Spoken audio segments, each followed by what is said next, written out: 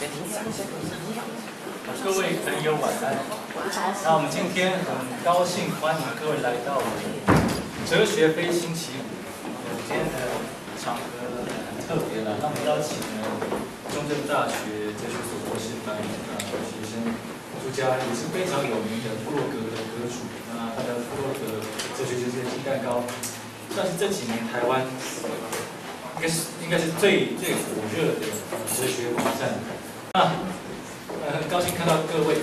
好，那我简单的呃，其实朱家其实不需要我多介绍，因为我相信今天在场来的各位都是慕名而来，对于家长期经营的部落格应该都非常非常的熟悉。那我自己在哲学系教书大概五年的时间，那我的感受特别深刻了，大概这两年左右，呃，一般人对于哲学的热衷跟那种询问度突然增加很。其实我想大概有两个。第一个要感谢的是 Michael Sandel，他确实他的教的真理这堂课，打开台湾人心目中对于哲学另类的想象。那其实第二个，我觉得就是朱家安，他的哲学部落格的经营，确实吸引了非常多的呃哲学爱好者。那其实大部分我相信他的读者不是来自于哲学科系，很多是来自于四面八方。那对于哲学的推广推广工作是非常重要的贡献。那现在其实我们最近也在搞一个高中哲学推广学会，那它也是我的理事。那我们希望未来在台湾呢，能够在高中的阶段推动哲学教育。但这个目前哲学教育不是在体制内的方式进行，也就是不是变成另外一套的什么中国文化基本教材这样的方式。我们希望能够从由外而内的进行改变，而不是从体制内。如果是体制内的话，变成什么？现有的师资。重新粉刷一下，改装上市，可教的东西其实一模一样。我们应该从外而内进去改变。那我相信，呃，嘉恩他这方面的经验比我们多很多。而且他替我们谈的题目就是象牙塔戏法的日常运用，那就是把哲学的概念跟理论，他试图回到我们日常生活里面，啊，做做应用，告诉大家，其实哲学并不是很遥远的学科。那另外。嘉恩其实在我们哲学系，我会怎么去？除了是一个知名的布洛克之外，怎么替他做一个定位呢？如果要定位的话，我会觉得说他是哲学界的恐怖分子。为什么恐怖分子呢？因为他一出现之后，他就会试图用他很很熟练的分析哲学的手法去拆解原本大家习以为常的概念。对于一个拥抱传统价值的人来讲，这个人当然是恐怖分子。那对我们来讲，呢，恐怖分子可能是一个正面的一个一个战场，那或许 OK，看各位站在传统或进步的啊一个面向，也会有不同的判断。那让我联想到，在呃康德写的《纯粹理性批判》一开头，他就比喻两种，那这个很有趣，有些蛮适合加安的。他说，第一种呢，就是传统的西这个，他指的是当时欧洲的大陆理性主义者，像莱布尼兹这些人，而这些人呢。苦心积虑的用传统的方式建构他们的哲学城堡，然后用很独断的方式建构，觉得自己的王国是牢不可破，可是却经不起所谓的游牧民族的再三攻击。他讲游牧民族就是当这个修女啊，这个 him，他的 nomad 不断去挑战。这个其实这个城这个王国是一个纸糊的城堡。经过修磨这么犀利的语言跟哲学的概念，他一一拆解，这个王国就瞬间就崩溃。那康德就很赞叹，他很欣赏德维逊，OK？但康德必须他很正面的评价说，德维逊有贡献在这个地方。那但是康德要做别的事情，他想要再重新，呃，受他的怀疑论的挑战，之后建立起自己的哲学王国。那我觉得台湾我们的体制内哲学教育，其实就像以前的那种传统的王国，我们觉得是牢不可破。其实里面破绽百出，我们非常需要像嘉安这样的一个哲学的心学，一一的去挑战，去开发呃新的可能性。那我今天就不多说，我们就请嘉安直接替我们呃跟我们讲话，好，谢谢。欢迎朱嘉安。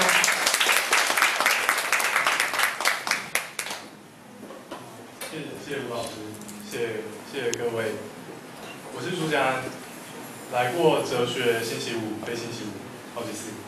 每次都是坐在台下。那我知道哲学星期五是台湾非常活跃的沙龙思辨平台，所以今天真的非常荣幸能够可以找到这边来跟各位分享我推广哲学的经历跟心路。我这人最有名的当然就是布洛格。那有些人可能知道这布洛格最近从黑色变变成白色了，但是可能比较少人知道的是，这布洛格呢，它除了是全台湾可能点点阅率蛮高的布洛格之外，它也是全台湾全中文世界脏话最多的布洛格。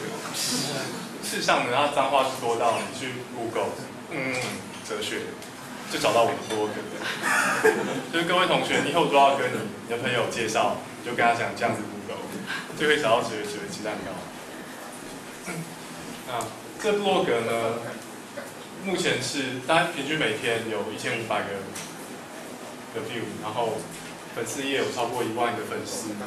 啊，接下来接下来的差不多一个小时的时间呢，我会跟各位分享我是如何办到这件事情。那主要上分成三个部分。我知道会来哲学星期五的朋友，大部分是对哲学很有一定兴趣跟经验。但是我们知道，哲学这种东西最麻烦就是每个人讲哲学什么，见解可能不太一样。所以我待会会花，我会花很多时间，大部分时间跟各位介绍我眼里的哲学什么样子。那也借着这些实际的哲学介绍的演练，让各位了解我平常是如何在。讲座之类的场合，跟跟社会介绍哲学，所以第二部分哲学在干嘛？再来推广哲学的一些技巧。那最后面我想跟各位分享这几年推广哲学的经历，它除了呃除了渐渐达成我们的愿景，让社会了解哲学之外，对我个人的成长也非常非常的有帮助。我在最后面的部分想跟各位介绍这件事情。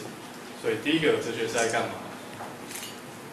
每每个人对哲学可能有不一样定义，像我们系上有那个谢世明老师，他每年哦，他以前是教那个哲学概论的大一哲概，每年新生进来，他就会跟那群新生讲一个崭新的哲学定义，他们每每年对哲学有不一样的题目。那我个人呢，对哲学理解我是想法，我会把它定义成这样子：哲学是在提新概念。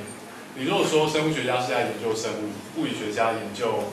可测量的那些东西，哲学家研究对象是人们的思想，哲学家挖掘你是我们使用什么样的概念来做思考，那做恰当区分、结构论证来试图解决问题。做这些事情可以怎么解决问题呢？我们先来看第一个例子，小木偶。哦，大家都知道小木偶最奇怪的地方就是讲谎话的时候鼻子伸长，然后说实话的时候鼻子才会缩短。这鼻子被下咒语，背后规则很简单，但是你想想看，如果他有一天讲这句话，会发生什么事情？我在不同场合问过这个问题，大家答案不太一样。几种常见的，有人觉得会变长。哎，我们现场举一下好了，觉得变长举手。讲完这句话哦，小莫说我的鼻子要变长了，接下来发生什么事？觉得会变长的举下手。没有，好，它变短的，不变，就不变举手，好，谢谢。有最后一个选项，最奇怪的，就是有人会觉得会不停的伸缩，来不停伸缩的举下手。好好好好，我个人呢，非常可以理解为什么那么多人选不停伸缩。你就想想看嘛，假设你是小木偶鼻子，对，然后那天仙女是跟你约定说。你听到你的主人说谎就变长啊！如果你的主人说实话，你再说回来。那今天呢，你跟平常一样，就是坐在小莫的人中上面，然后你做的好好的，听到你的主人讲这句话，你是他的鼻子，你心里想什么？你就觉得有点奇怪。我好端端的又没有要变长，你干嘛说我变长？好，所以这句话是跟事实不符的假话，那怎么办？是不是赶快变长？但是如果你真的变长，你很快就会发现事情不对劲，对不对？因为你的主人刚刚讲什么？他刚刚预预言的说你会变长，结果你真的变长了。所以他讲话变成实话了，怎么办？再说回来嘛。可是说回来之后也不对啊，就是变成那个样子。那我们小时候都读过小莫这个故事，我们希望它是一个比较纯洁一点的童话故事，所以所以可能不太想接受这一个设定。那接下来应该怎么办呢？事实上，如果我们对于刚刚做的那些讨论里面那些概念，进一步澄清是有转换余地的。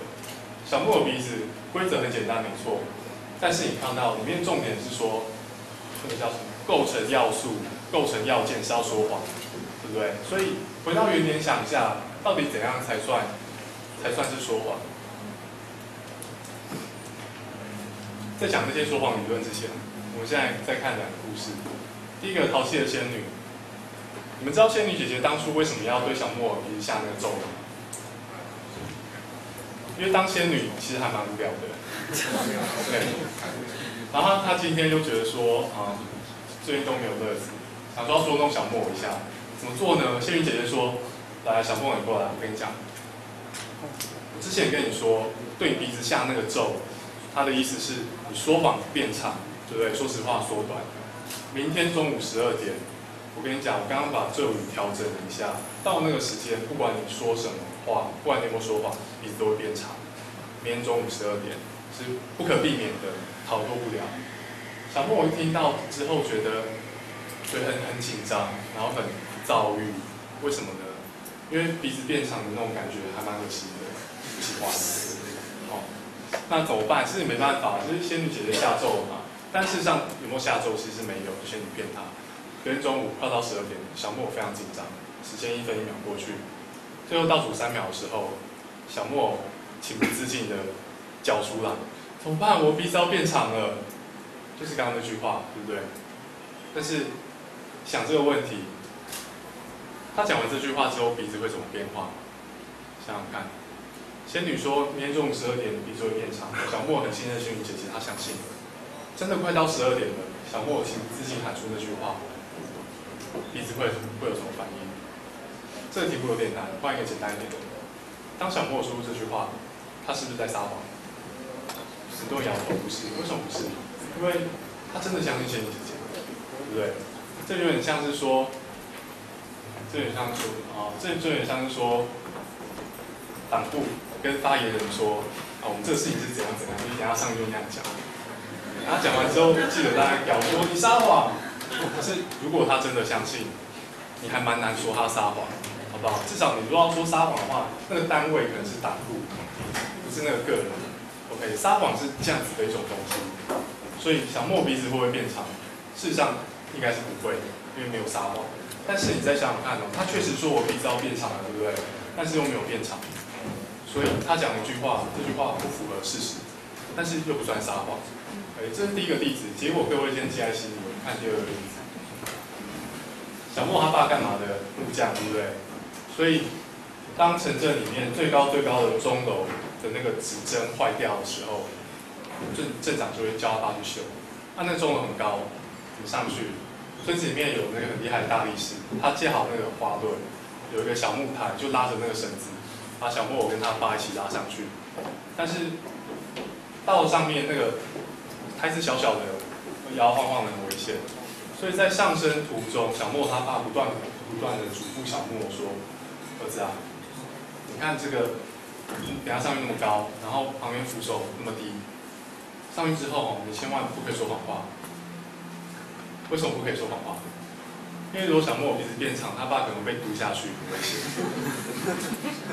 可是你你想想看，你身为一个小朋友，你每次你爸要要上工，你就要跟他去。”然后看他做一样东一样一样事情，还蛮无聊的。所以你会怎么反应？你可能想捉弄一下爸，然后到上面很高的地方，小莫轻拍了一下他爸的肩膀，说：“哎，爸，我鼻子要变长了。”还蛮机车的这小孩。但是接下来发生什么事情？假设小莫的心境是说：“我爸那么担心我鼻子变长，我就来骗他一下好了。”好，头脑单纯的小孩。但是接下来发生什么事情？觉得鼻子会变长的举手。OK。啊，觉得这句话是谎话的举手。还蛮保守的，觉得是实话的举手。好，比谎话略少一点。如果啊，我们把刚刚的情境理解成小莫真的是恶作剧骗他爸，那听起来应该是谎话，没什么问题。对不对？他要惊吓他爸，可是小莫我头脑很简单，没想到他鼻子的那个针色还蛮灵敏的，结果接下来真的是鼻子变长了，然后可能他爸就惨遭不测之类的。所以我们比较这两个例子哦，在《淘气的仙女》里面，小莫真的相信仙女姐姐讲的话，对不对？所以他说我鼻子要变长了，这句话不符合事实，但是不算说谎。在淘气的小莫例子里面，小莫为了跟他爸恶作剧，说撒谎说故意撒谎说把我鼻子要变长了，想让他爸紧张一下，结果是怎样？结果是悲剧。所以面对说谎跟实话，我们有不同的情况。有些情况你是说实话，但是你讲出来的话不符合事实；有些情况下你是撒谎，可是你讲出来的话可能很不幸的，刚好是真的。哎，这些都是可能出现的情况。这代表什么？这代表一个人诚实或一个人撒谎，跟这句话到底符不符合事实，没有绝对的关系。而这些都是都是大家本来就可以认定的。为什么？因为我们看到这两个例子。时候做判断，事实上是跟别人差不多的。那回过头来回想，刚刚我们在检讨那四个选项的时候，记不记得很多人选说会变长又缩短，对不对？讲我讲这句话之后，鼻子到底会作何反应？我们在看完这两个例子之后，应该会知道说，你光告诉我小莫说的什么话还不够，对，你要告诉我说他在什么样的情境下。说出那句话，因为我我是要判断他说谎与否嘛，对不对？我光知道那个话是符不符合事实，是不足以构成我判断的。这些关于撒谎跟诚实的规则，我们本来每个人都内建在脑子里面，但是有时候碰到比较奇怪的情况，像是那个鼻子伸缩的情况，因为我们被迷惑，会导致你做出不符合你对那个概念理解的判断。这个时候就是像刚刚那一种哲学的假想的情况，可以派上用场的地方。我们用不同的很极端的情况来测试各位对那些概念的掌握跟定义。那 g o s a n d a l e 事实上做的是一样的事情，只是他用的是真的会死人的情境，对不对？那一条铁轨分成两叉，然后两边都有躺人，怎么办？OK，我们在这里讨论的是撒谎定义是什么 g o s a n d a l e 讨论的是怎样你对道德上面对错的判断如何。但事实上两代都是类似这种假想情境。这两个定义探讨，让我们知道这两件事都是可能的。那这种假想情境呢，并不是当代哲学家发明，事实上很久很久以前就有，包括在古希腊柏拉图的对话录里面，也常常出现这种用假想情境来侦测概念内容。苏格拉底 VS 将军，我们知道古希腊是城邦嘛，对不对？然后城邦就是每次互相打来打去啊。所以，古希腊的雅典的人呢，非常崇尚，就是你要英勇，要威武，可以打胜仗。所以，将有一天苏格拉底在街上逛街，迎迎头来了那个雅典最最英勇的将军。苏格拉底说：“将军啊，你是我们的百战天神，那我想问你一个问题：相比起勇敢，将军说，勇敢，你问我就对了嘛。我跟你讲很简单，勇敢就是这个。”战斗不绕跑，很实际，哇！而且大部分人都可以同意嘛，打仗的弟兄往前冲，你往后跑，好像好像有点那个，然后有点鸟，所以勇敢是这个。苏格拉底，你可以想象他一定不满意的，不然他最后也不会被人家弄死。苏格拉底说：“可是你想想看，你这样讲好像你只有在战场上面才有办法呈现勇敢，但是我们知道在课堂上也可以。”如果你觉得教授讲错，举手跟他讲。啊，教授威胁把你当掉，你还是举手跟他讲。我知道有些人有些人觉得这是白目，不过 就是你知道有有时候白目是上隐隐含着某种勇气。OK，是不不畏惧权威挑战教授。那将军还蛮明理的，他说这样也对哦，在课堂上面帮我改一下好了，改成什么？改成这个。不绕跑是贯彻始终，对不对？教授威胁要把你当掉。你还是坚持他是错的，这也是贯彻始终。所以你在这边注意哦，本来将军是用完全是用战斗来定义勇敢，对不对？那他他他现在把勇敢放宽了，定义成更抽象的贯彻始终。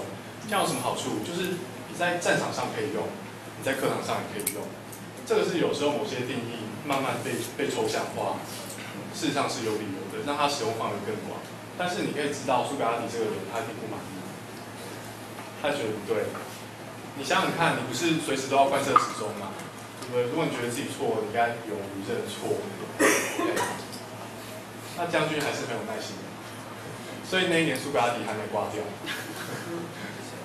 好，贯彻始终加上相关的才能，什么才能？你在课堂上展现的才能就是你明辨是非嘛，对不对？你如果知道自己错了，你就你就做那些你错的时候该做的事，就是认错。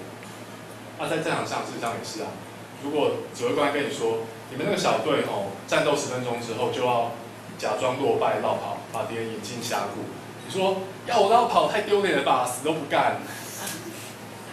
这看起来很很冲没错，可是还蛮不勇敢的，因为你为了自己的面子不顾大局，对不对？所以你要用相关的才能来判断你的贯彻始终要贯彻到什么地步，这个才是勇敢。将军给的最后一个定义，它事实上已经蛮精密的，对不对？我本我们本来可能以为说勇敢这这不是什么复杂的概念，对？就是一个人很呃很很不畏惧啊，或者什么时候敢做啊之类的。但是你可能发现说。你说要真的要建立一个对勇敢的刻画，然后它能满足各种例子，到最后可能变成这样子的一个奇怪的定义。但是你考考量过刚刚那些例子之后，你会发现这好像是没办法试，因为你要让勇敢在课堂上可以用，在战场可以用，然后你要你要排除那些不勇于认错的人，好像非得做成做到这样子不可。但是你可以想象苏格拉底当然是不满意嘛。为什么不满意？因为就他觉得这跟他看的漫画不太一样。所以刚好看到那个那叫什么？鲁夫一行人进入阿巴斯坦。等一下你知道阿巴斯坦有一个，你一看就知道他是这一关大魔王，而且这个单行本起码还可以画三本的那种人，就是这个人。哇！你进去之后发现，哦，这个人在。欺负欺负居民，怎么办呢？虽然他是一看就知道是非常非常强的大魔王，但是我们还是有正义的伙伴直接跳下去要跟他干。在这个时候，你想象一下，如果你是不相干第三者，在旁边那个大钟楼上面看，你很安全，就是旁观，你大家会觉得说，哇，这个一看就知道是大魔王，他们两个还这样冲，真的蛮勇敢的，对不对？但是你知道，哲学家有时候追求一些概念的定义，稍符合我们对于概念的细致使用。比方说什么细致使用？你在这里，你会同意我们可以问说，两个都很勇敢，没错，但是谁比较勇敢？勇敢是有分等级的嘛，对不对？不是非黑即白。那退一步来问，退一步来讲哦，各位记不记得将军最后取的这两个条件？一个是贯彻始终，对不对？那你贯彻始终是要配上相应的才能来知所进退。这个定义呢，事实上是可以，是可以让勇敢有所程度。怎么讲呢？可以这样算，好吗？这这个很，这这不是苏格拉底自己的想法啊。可是你如果去看那个相关对勇敢的讨论，搞不好是可以这样子延伸。你可以这样算，好吧？你就两个条件嘛。那这两个条件都是可以算分数的啊。你可以算说谁贯彻始终比较久，好，坚持比较久。你可以算说谁相关技能比较厉害，有一个人明很明辨是非，你可以比他更明辨是非，OK？所以这时候怎么算？在这里相关技能就是战斗技能嘛，对不对？一翻两瞪眼。那贯彻始终呢？如果你只是在旁边看到他们还没有开始战斗，你可能必须说，好吧，两个人目前看起来同分，那就是刚冲出去，刚冲出去而已，好不好？然后下一画那个点还没把它画出来。目前线索判断贯彻始终同分，但是相关技能谁比较高？我们都知道香吉士很强，然后骗人部还蛮烂的。这个强弱是怎么分呢？就是你看到很强大魔王在欺负居民，然后你会跟香吉士说，如果你没有冲出去，看不起。然后你可能会跟骗骗人部说，你如果没冲出去的话，我们也不会怪你的。所以相关技能是一般两分的，但是注意哦，右边红色那么大一团代表什么？代表在将军的定义底下，我们好像必须说象棋是比较勇敢。但是你愿意这样讲吗？对？你会觉得象棋是你冲去应该的啊？你看那个骗夫那么烂，他还冲去，那还是勇敢，对不对？所以在这里你会发现，你常常。修改一个定义到你觉得很精致的地步，但是还是不行。那这个就是对我们做哲学的来说是最非常非常常见，但是有时候会让你很挫折的地方。你用你好像永远找不到恰当的定义。但是回过来想哦，我们平常在日常生活当中分辨什么勇敢，什么不勇敢，事实上是可以分辨得很顺畅。代表那些勇敢不勇敢规规则内建在你脑子。们要做的事情只是把我脑子里面关于相关概念规则挖出来而已，竟然做的那么辛苦。可见我们对自己掌握的那些思想，事实上是没没有我们想的那么那么那么明白。OK，那这也是事实上很多哲学家试图不断的要告诉大家，苏格拉底那个时候为什么有有句名言说，啊，说一无所知。对？他一无所知的范围，并不是说我不知道怎么讲蜥蜴，我不知道怎么样跑步才不会受伤。他讲的是说，我以为我知道什么是勇气，不是说谎，是爱。但是我试图找他们规则，我找不到合适的。是他说一无所知的意思。这个你要怎么面对这种困境？就是一直挣扎嘛，一直修改你对概念的定义，然后你的对手就是给我反例言语。那这个可以说是最典型的哲学进展跟哲学辩论的结构，有定义有反例，有定义有反例。但它有很多衍生，比方说对特定论证的讨论啊，对某些逻辑推演是否有效的讨论。我这个是一个非常典型、非常典型结构。你如果真的去看那些，你去追哲学家讨论某概念的学术论文进展，一篇一篇凑起来，差不多是这个样子，有个定义，然后是改是改。那有时候改的可能是整个定义，改是其中一小部分，因为有些定义后面可能是非常非常大的哲学理论。有些人可能想说，嗯，勇敢干我什么事？我平常用的很顺就好了。跟别人说什么勇敢，什么不勇敢，不会弄错啊。啊，我为什么一定要知道那个定义是什么？那这边重点就是说，勇不勇敢好像确实是我自己的事情，我跟我的同同伴讨论，不要搞错就好。但是有些概念。它在社会上沟通讨论里面非常重要，它重要到你说搞错它的定义，你对别人做做 judgment 的时候，你会弄错，你会谴责到不该谴责的人。这个是什么意思？这意思是去年有学租了一个台铁车厢，在里面做令人开心的事。当时呢，社会上对他们当然有很多批评，对不对？比方说有人批评说破坏公，有人说他们是性交易。有收钱，有人说违反台铁车厢租借条约，然后有人说他们关安猥亵。这边值得注意的是，在每一种批评，他们的立论基础都是不一样的，对不对？讨论是不一样的状况。我们现在专注讨论到最后面这个公安猥亵。为什么有人说他们是公安猥亵？有一个很直截了当的说法，就是台铁车厢是公共空间嘛，你在公共空间里面做猥亵的事，就公安猥亵啊，还有什么话讲？OK，这是。听听起来蛮顺的推论，长这样子。但是在当时呢，中央大学性别研究所的另一名教授，他提出来另外一个对公然猥亵的定义，他这样子讲：空间所有人是人民还是政府不重要，重要是那个空间是否做好恰当的隐蔽，让无辜的人不要看到。OK，你可以想到这两个最重要的差别就是，左边那个他是直接是在意的是。你做那个猥亵的事有没有伤害到别人，包括身体伤害？OK，那右边的是没有是没有很直接考虑到这一点，他只考虑说那个空间是谁的，是有这个差别。那在这里，你选哪个定义是直接直接关系到你会不会用公然猥亵来谴责那群人，对不对？公然猥亵当然有法律上面的定义啦，不过我们现在主要讨论说人民做到的谴责。OK，你如果觉得是右边那个，你就会觉得他们是公然猥亵。那你如果觉得是左边那一个，就不会。那所以说，有群人做一个事情，我们要不要对他做特定谴责，是建立在你选哪一个定义上面。我们这时候就来想说，哪个定义比较恰当嘛？那要怎么样判断？一样是用前面那些招啦，就是举一些假想例子。这是一个捷运厕所你可以看到它门关着的。为什么门关着呢？因为有人在里面打手枪。假设厕所里面只有他一个人，好吗？门关着，拿手枪，他可能把门锁起来了，你没办法看着进去看到他。各位同学，在这种情况下，你觉得他是公然猥亵吗？OK，很多人摇头。但是我们也都知道，你只要做一件很简单的事情，就可以让他变成是公然猥亵。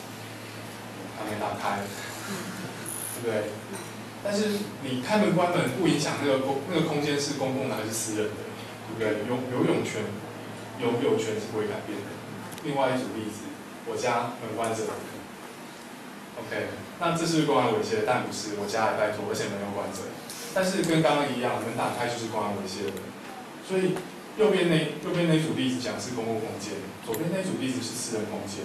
但是公然猥亵与否的变化，好像真的跟空空间拥有权没有关系，对它是直接关系到你有你是不是把门打开，让无辜路人会身心受创。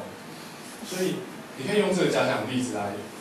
辨别上面哪一个定义是比较恰当的，然后进而决定要不要把公安猥亵扣到那群人的头上。这个是哲学分析在公共讨论里面可以应用的例子。那事实上，在就算在最近的一些公共讨论里面，我们也发现，确实有些概念是会被误用的。比方说前一阵子在社运现场，有很多人被警察以公共危险罪，对不对？可是他们做了什么事？他们做类似这种事情。公共危险，拜托，这当然是开玩笑的，因为我们知道，是有有时候现场的警察也也不了解，或者对方对他们来说，公共危险只是一个把你压走的借口，他们自己也不相信。但是你可以想到，你可以想到更其他更直接的例子，概念的误用是严重的在侵蚀我们的公共讨论。另外一个例子是这样子。OK，我相信你如果很有人追演出讨论，这几天应该应该有看过类似这种想法。OK，我脸书墙上前阵就出现这个想法，下面很快有人回应他，那个人说什么？那个人说这个。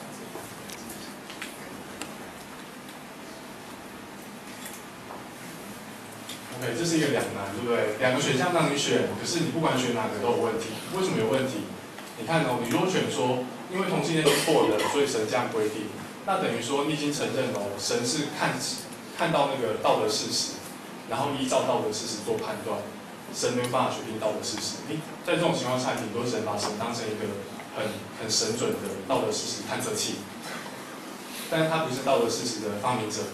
OK，这是第一个选项。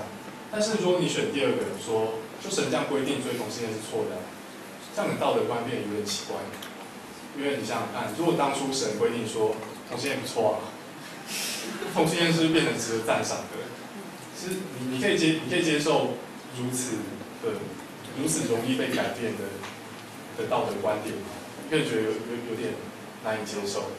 那这个确实也是在伦理学讨论上面，我们用用神的意志来。为道德提供基础的时候会碰到两难，但是，好，这这些都是给共鸣。为什么呢？因为那个时候 A 是这样子回应他。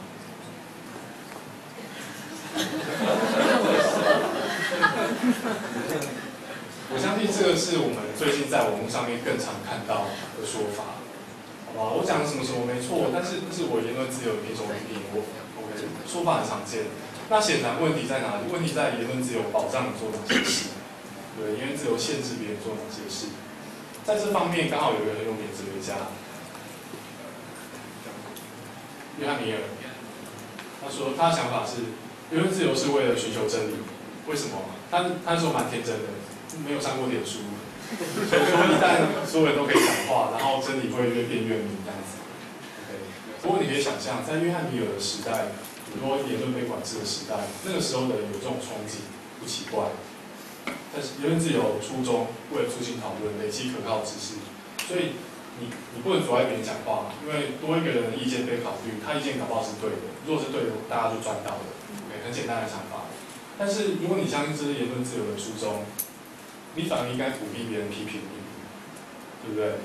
所以，如果我们对言论自由这个概念，我们为什么要用这个概念来保障人有进一步的哲学上的思考？你可以知道言论自由该如何使用。然后对那些误用的人，你知道怎么样跟他们讲？关于言论自由哈，我去年有一个有一个事件让我有很深刻的体悟。政治大学公共行政学系陈敦元教授，他做什么事情？他请走出埃及的地震，到课堂上面演讲。大家记得这件事吗？那个时候呢，学校的回应是这样子：你可以想象很多人去搞他。政治大学，政治大学，政治大学公信系。那陈教授说，尊重多元言论，所以这件事情是 OK 的，都会继续做。正大主秘徐连恩说，多元表达，然后教师有授课权，然后最后回到言论自由。但是你想想看，言论自由根据前面的讨论，它保障的是保障你的发言发言权，是为了让真理更容易浮出台面，对不对？但是它有没有需要保障你到可以使用公共资源来推广你相信的东西？可能没有保障到那么多。我相信，如果那一天陈敦元老师他是在比方说他家的客厅，他自己租借的场地，请地震来演讲，然后他也他也没有用加费行为鼓励学生来参加，不会有人说话。但是在这里我们可以讨论的是，言论自由初衷是什么？它有保障你到那么多吗？那为什么在这种情况下，你可以因为你有教职而享有好像比学生更大的言论权利？这些都是可以讨论的。再进一步，在最近可以讨论的另外一件事情是这个，就是这个。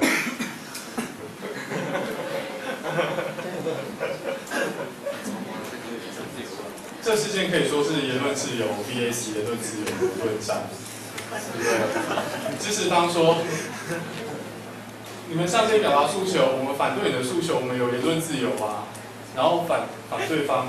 我不确定这是不是不加盟的官方说法，可是我看过非常多人说，不加盟游行是为表达诉求，你在现场是妨碍到他们表达诉求的言论自由。我可以听过这种话，在网络上面。但是考虑到约翰米尔老先生讲的讲的那个想法，你就知道不加盟的做法是完全的错误。为什么？因为如果你同意言论自由的初衷是要让不同的想法。互相交流，然后大家可以来斗个你死我活。你不会同意这种围堵跟阻碍沟通的做法。我我当天没有在一三零现场，可是我看到一些记录，我知道那天主办单位对于支持方跟反对方的沟通，他们是极力阻断。对，他们跟来参加的民众说：“你们不要理反对者，然后就要对把反对者隔开。”学校队有受过训练嘛？就是低着头不讲话，你跟他说他当做当做没有听过这样子。但是我们我们都可以同意，那天反对方在现场的的举止，对于言论自由的初衷是有很是有很正面影响的。这样子不打人，为什么呢？因为你看过很多新很多新闻报道，在现场去游行反对多元成家的人，有一些人在沟通之后，他发现。自己来到现场，更多是基于某些错误的、错误的误导，对不对？所以，如果我们非常的 focus 在言自由初衷，是要让不同言论浮上台面，然后我们更有机会了解到世界真实样貌，那不加盟那天的九法队制度，基本上是站在言论自由的对立面。OK，我自己会我自己会这样讲啊，不是所有念哲学的人都可能都这样认为。但是我自己是这样子认为，这个是我们探讨言论自由可以获得的结论。那以上展示的是说，哲学家试图寻找各种概念的定义，对不对？然后我们找定义不是乱掰的啊，我们定一个定义之后，用一些假想情况来测试这个定义是否恰当。啊，这个过程呢，就是我们常做做哲学常讲的概念分析的主要内容，用假想情况跟用论证。来测试你对概念的那个论断是否公正。有些人会说概念分析只是字词之争，是炒那个定义干嘛呢？但事实上，哈，对那些字的定义有所追究，有时候会让我自己亲身体验啊，有时候会让我们在考察别人想法之后，眼界放得更宽，更容易发现之前没有发现到的盲点。比方说，这个也是之前。常出现的，对不对？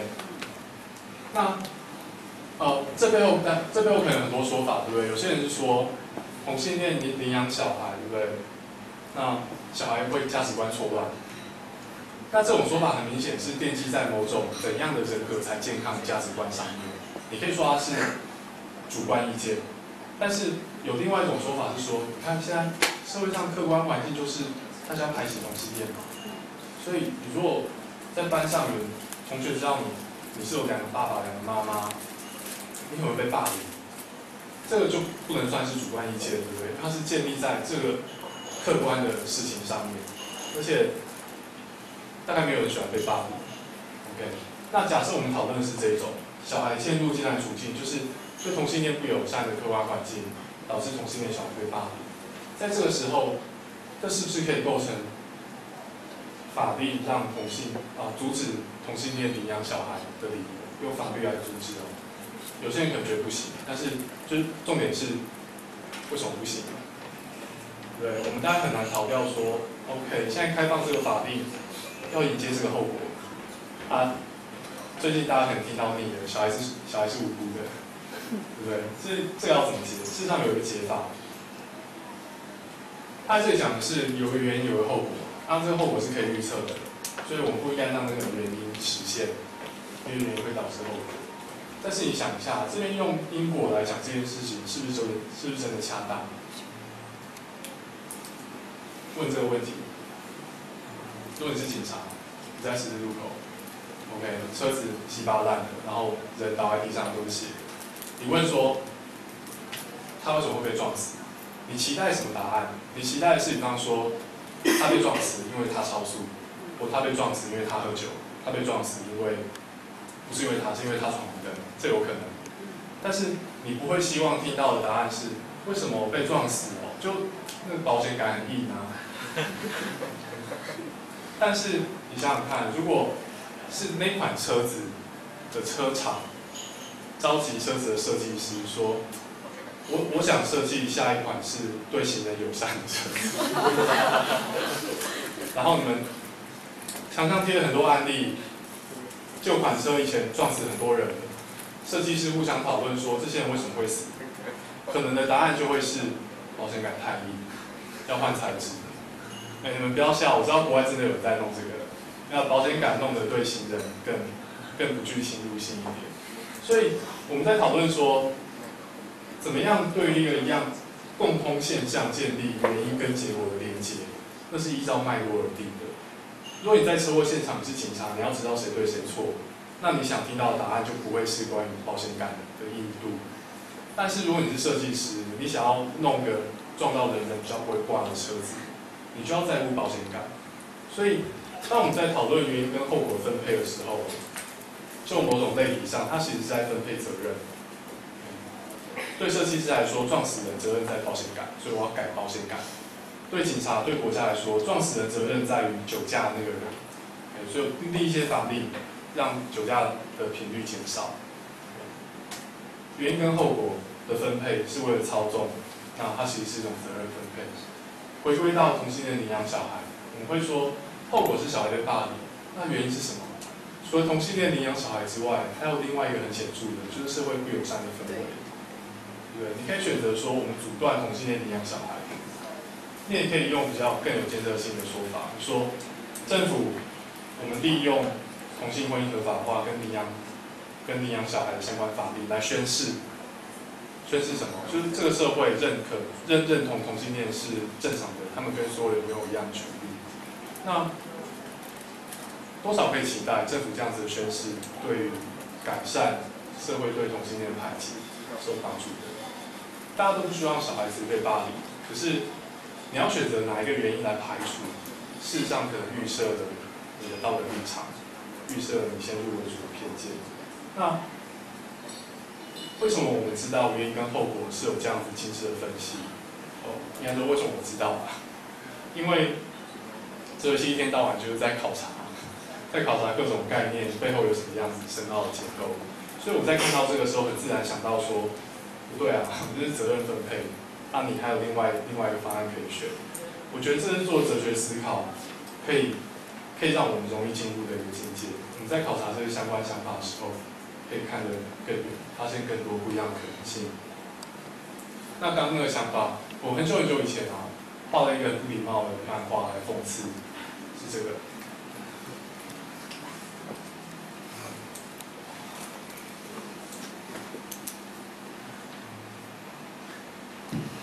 那个时候大家在吵性交易合法化嘛，然后有人说，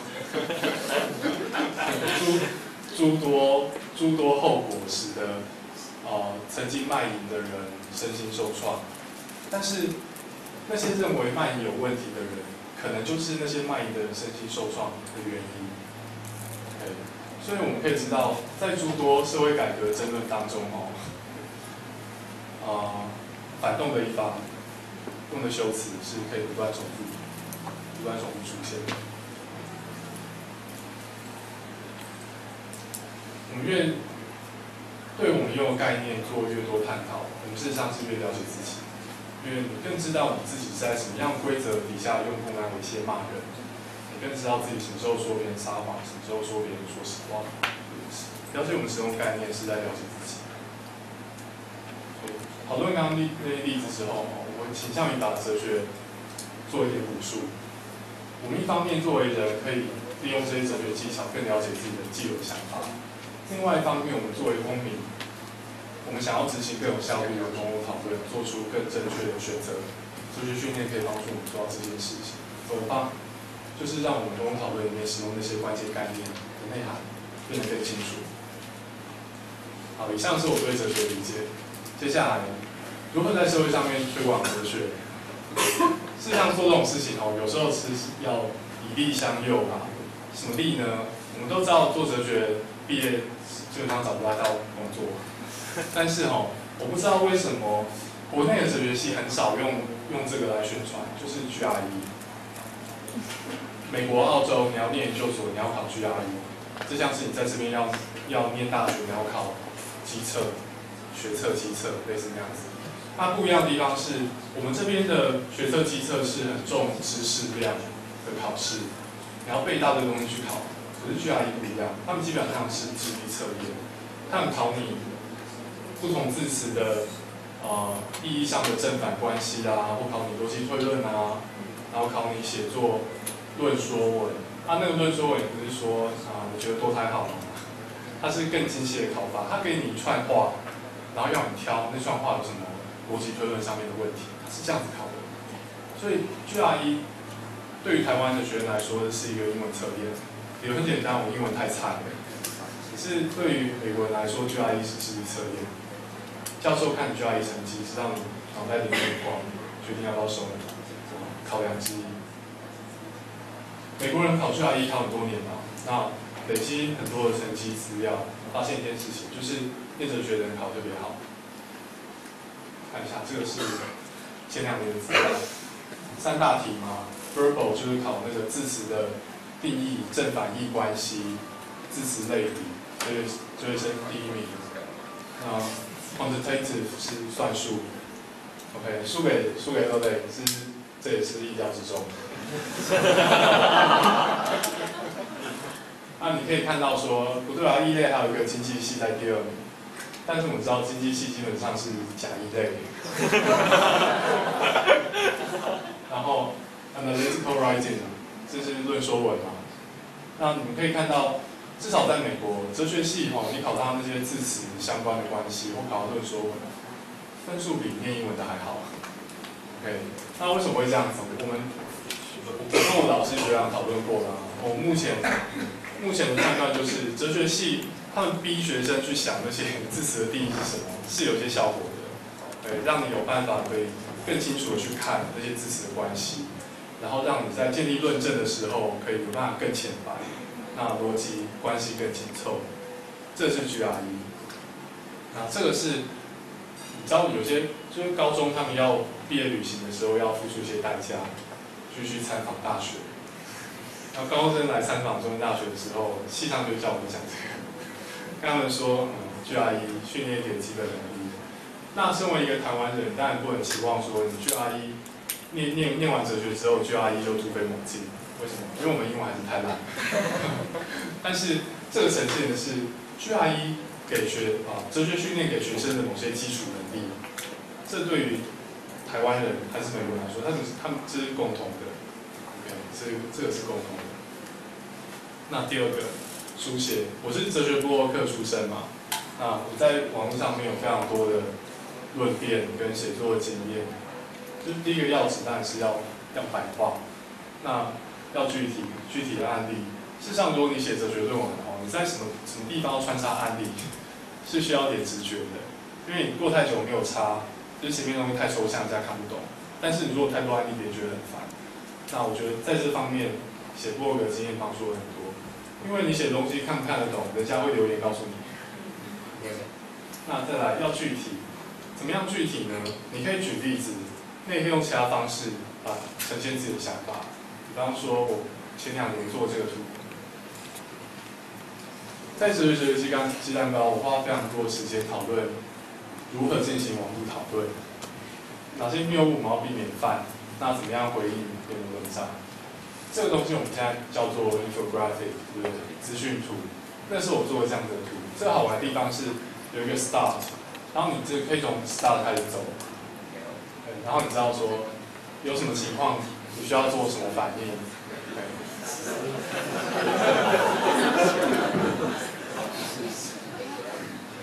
然后里面虽然有些摆烂梗，但是也是有跟大家交代相关的法律后果。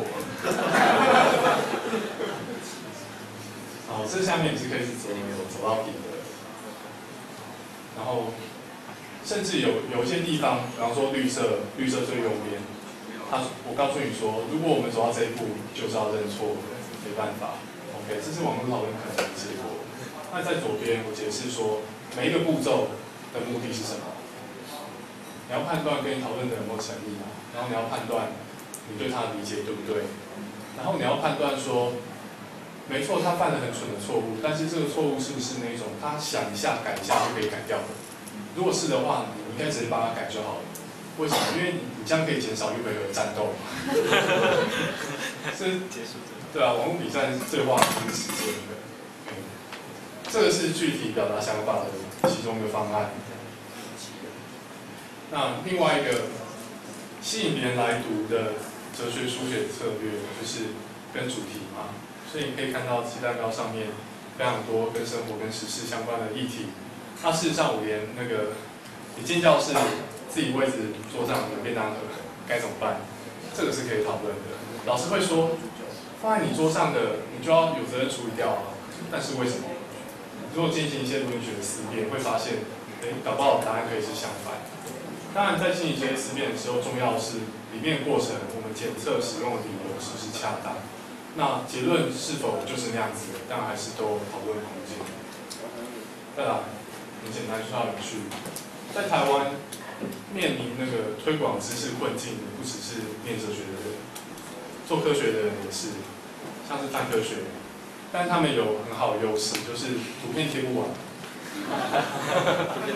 对，那我们做事很明显，因为你知道，是哲学家都要长得很普通。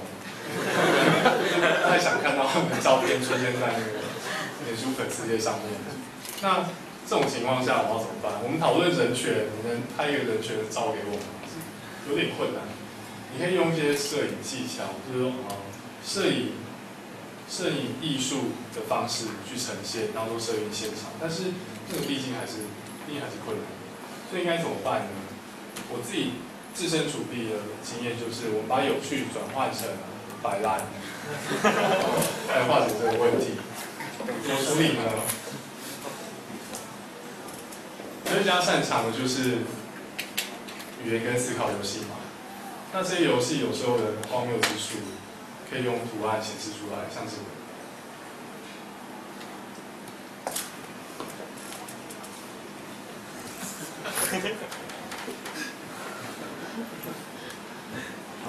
最近都是多位成家梗，这个游戏，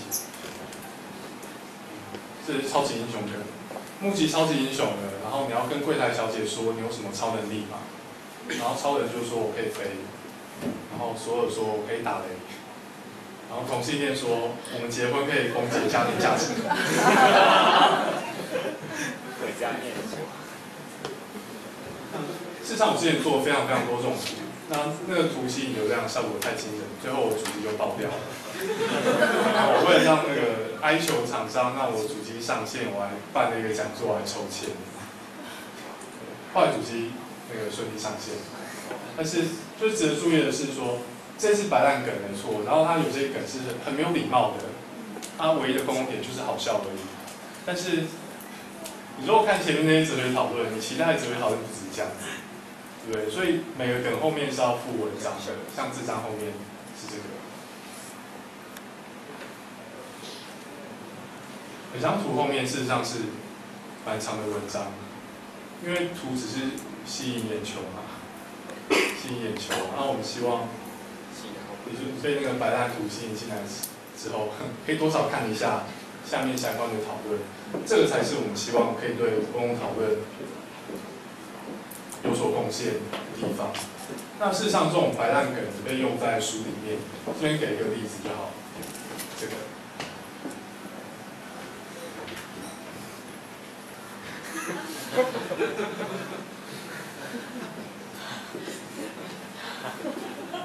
但是你知道这一篇是在谈什么吗？它是在谈科学预测的结构。科学预测，你在星座做预测嘛？科学家我会做气象预测，那这个预测的结构会遇到什么困难？那你可能问说，为什么要举这个例子？那就真的只是摆烂而已，其实没什么其他的。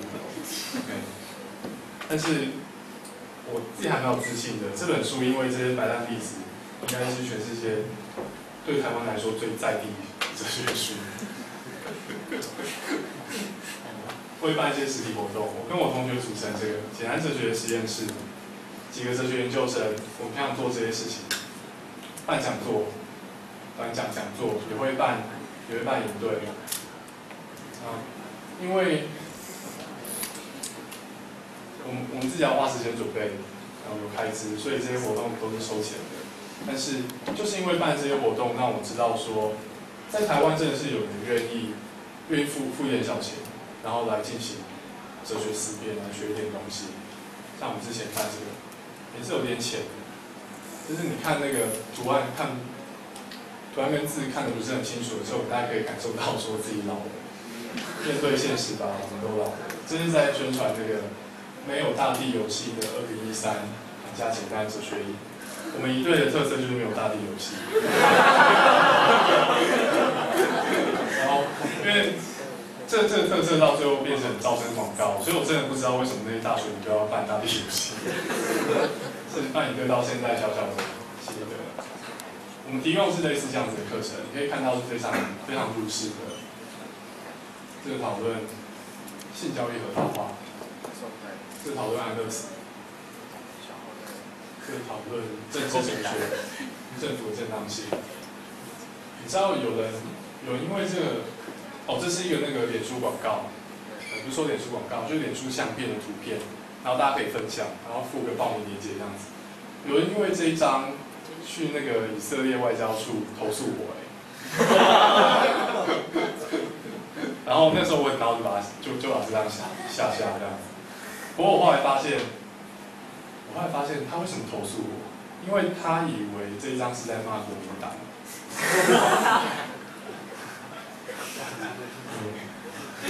所以所以我想，就那个时候就算外交处联络我，我应该也不会有事。就是网上这些什么人都有。好，这是这张道德修辞。好，这些讲座每年人数是都有在增加的。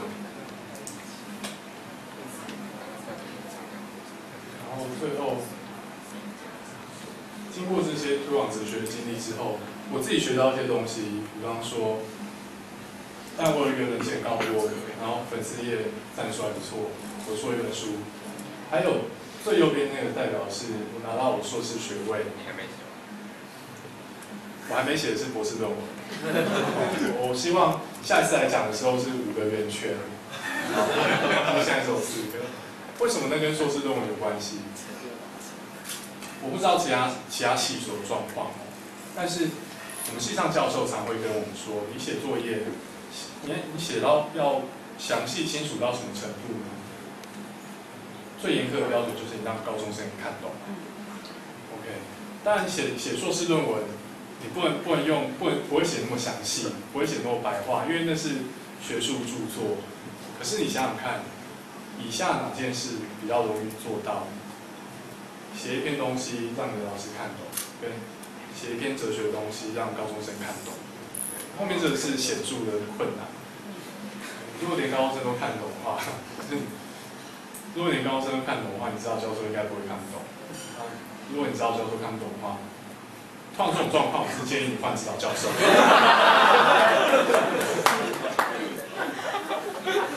所以，在网上面写哲学哦，这其实那环境是蛮严苛的，因为网友跟你素昧平生，但是讲话都很难听，你知道。对，有写什么东西让他误解的，那个留言是很很尖锐的，可以马上呈现出来。所以，你如果当你如果当过一两年的网络播客，回去写论文，回去写论文会不回去写作业，那负担是减少很多的。再来，这一张呢，这张是我两年前在简安哲学讲座介绍什么是性变态。你知道很奇怪，哲学家讨论性变态的定义是什么？他真的提出蛮有道理的说法，但这个不是今天的重点。今天重点是，你看这张这张简报还蛮单调的。这是我两年前做简报的样子，然后在在接了两年的推广活动之后，我简报风格变成我现在这个样子。那事实上，我学到，我从哲学推广的简报学到很多，因为你知道哲学通常都是讲抽象的东西嘛，那你要把它用那个具体的图案什么来显示，事实上是有难度的。所以在简报的编排啊、排版啊、内容设计上面，门槛是蛮高的。所以经过试炼之后，我可以用简报软件做这种海报，可以做这样子。后来跟伙伴开了简报讲座，对，人生第二春。好，在在我做简报的最高峰，我可以用简报软体做这个东西。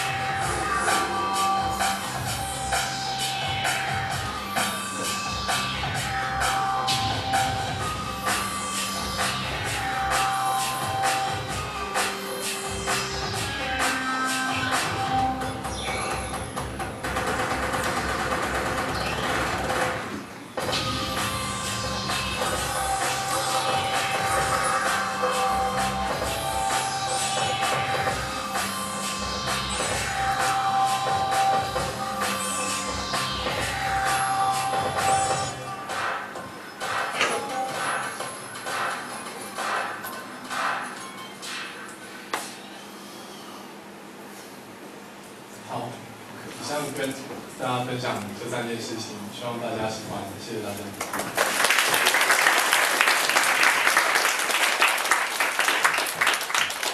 感谢嘉恩这么精彩的演讲，我嘉恩真的是很奇葩，OK，非常天才的，用很多，我觉得他是台湾做这种 infographics 做的最好的人之一，OK，做的非常棒，可以把很复杂这些概念用很简单的方式。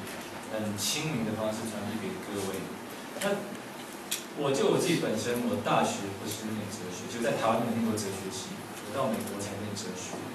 因为我在台湾，我根本觉得哲学是一个很不 sexy 的学问。我说实话，如果回到二十年前念大学的时候，哎，在你周边的哲学老师、念哲学系的同学，那你觉得哲学是个很无趣的东西？那可是后来等我年纪大了一点。其实哲学是蛮 sexy 的，但不过这个特点真的在嘉恩身上可以看得到，就他把哲学变成很 sexy 的学问，OK，是他很大的一个贡献。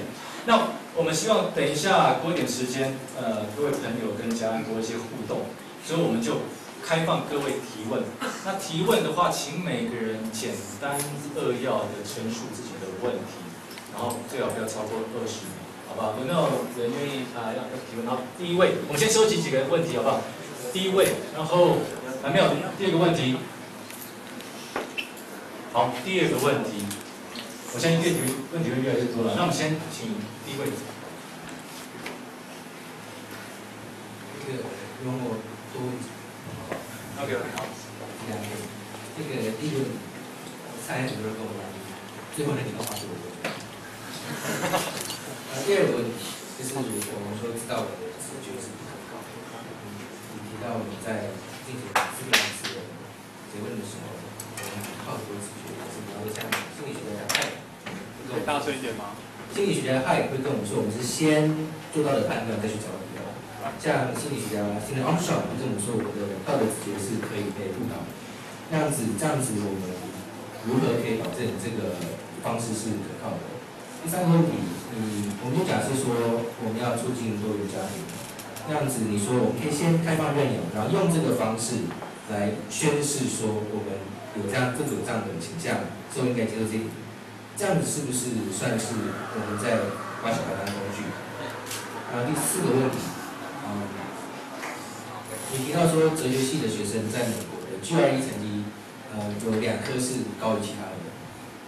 嗯，这个我们可以适用在台湾吗？比方说，当我不知道中正怎么样，可在从我出来学校，我有半年时间在念中华文化体育教材之类的东西，所以真的遇到被中和掉，就不是很清楚。非常谢谢。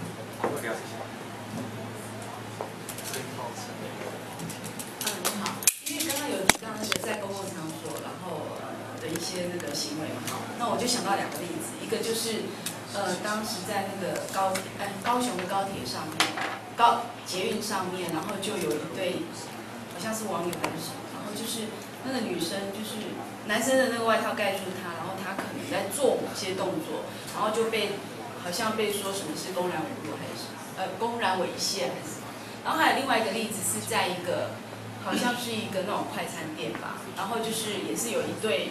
年轻男女，然后他们这这次可是没有遮住那个，然后那我是觉得说，所以这个部分，我觉得其实有时候很难去界定哎，因为他们那样私密的行为在公共场所，然后其实有可能会造成其他人的不舒服嘛，就是会很很久。那可是又有一派的人说，那个是他们的自由啊。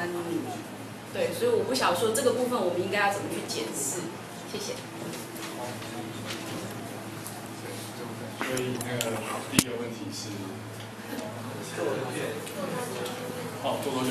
二十四小时。哦，动画二十四小时，然后配乐是我决定做，他做大概八小时。那第二个问题是，哦，直接不可靠。我觉得哈，这。这就是为什么我们需要跟别人讨论。对，我觉得，那啊，在进入公共讨论的时候，哈，我觉得我们不需要预设，比方说不需要预设什么有有真实存在客观的道德真理。我们都我们都可以同意说，嗯，我们可以接受的道德规范呢，就是我们协调到最后那个类似这种比较实用派的说法。那像刚刚那个问题，每个人直觉不可靠，没错。可是如果你觉得我直觉怪怪的，你可以指出来。那我们事实上，我们事实上不需要同意说，我们要有很准确的直觉，然后一直到每个人都直觉都是要是正确的，然后每个人每个直觉是投射到同个道德同个道德系统，然后我们才能说我们要就是那个。我们道德系统可以随时变的，然后一直因为有有意义去修改。但是我觉得重要是要不断讨论。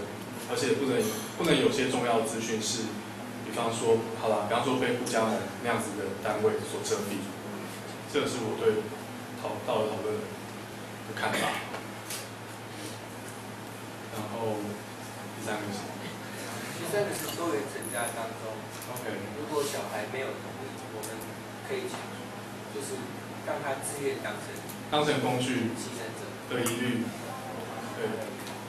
是是当成工具没错，但是我觉得啊，从实际一点的观点来看，我们并没有，我并没有如此在意是否把别人当成工具的这件事情。如果我们真的要避免把人当工具的话，现在很多法律都要大幅度的修改。那我事实上有点担心说，如果不能把不能把人或小孩当工具的话，我找找不到任何一套法律系统可以用啊，我觉得有可能有这种结果。但是我同意说，可能还是要评估，呃，我觉得是要评估政府宣示那个带来的效益，跟那小跟那些小孩实际上忍受到压力的比较。但是你可以想到说，就算我们通过了可以收养，那如何保护那些小孩？事实上是很多配套措施可以做的。那这些配套措施的一个执行，事实上是对性别平权更进一步的宣示。当然，你可以说是我太天真了，我是乐观派的。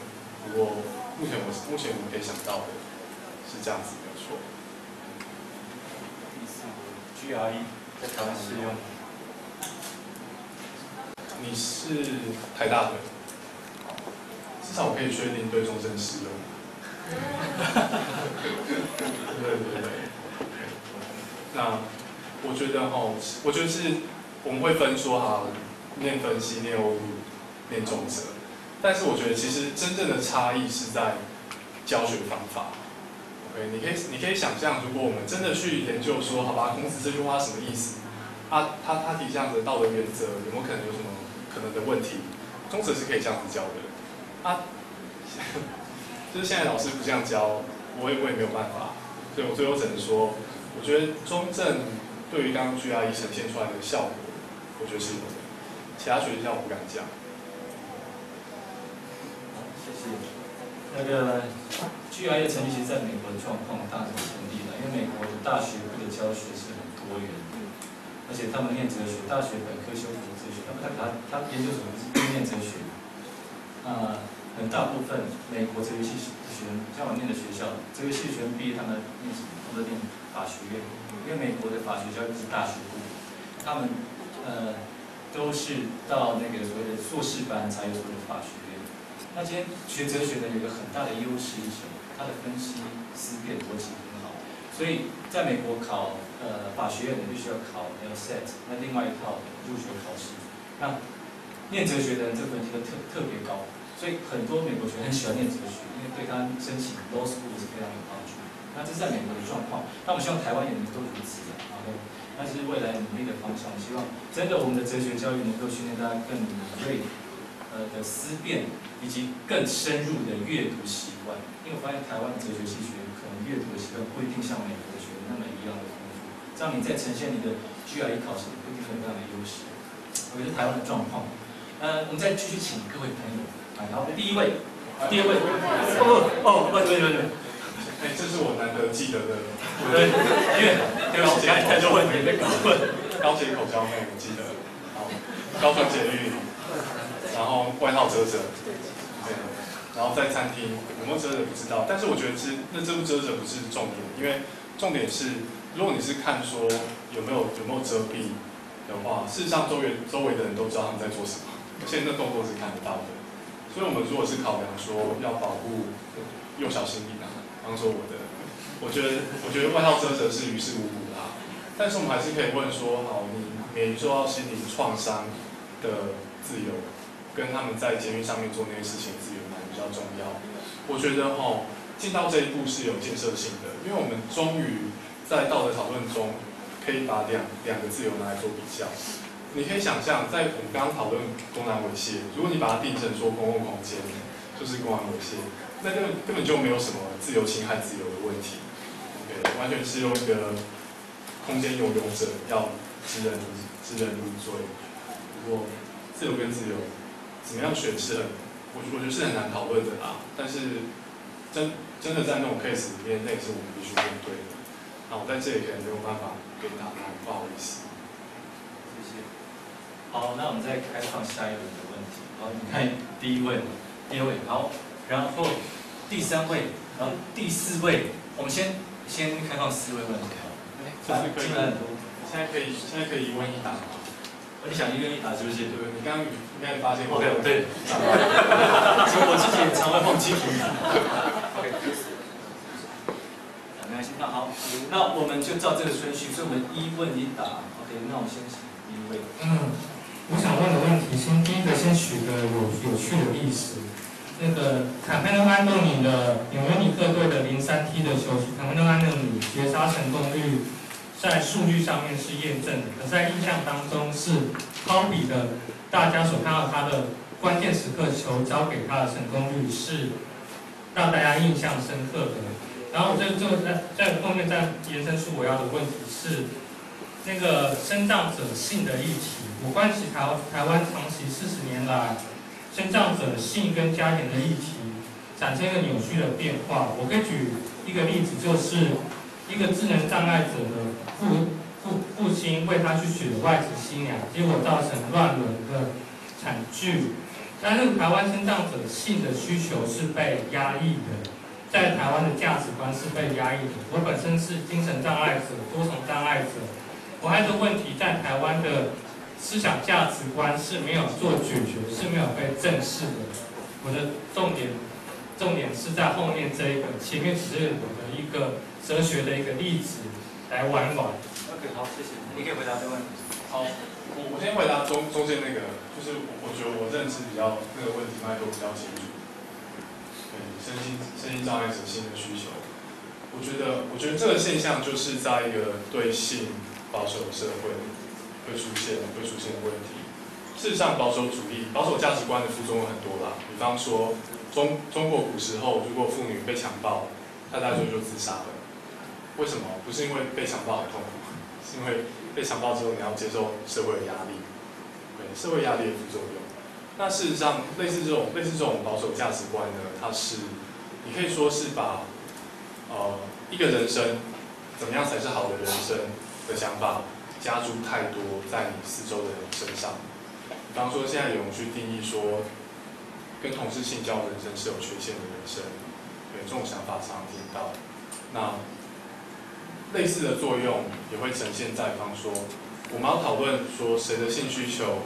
政府可以如何满足的时候，这在台湾情况下几乎是无法，就是连连谈都很难被拿出来谈的问题。那为什么？为什么你很难拿出来谈？其实其实只是因为有些人不好意思。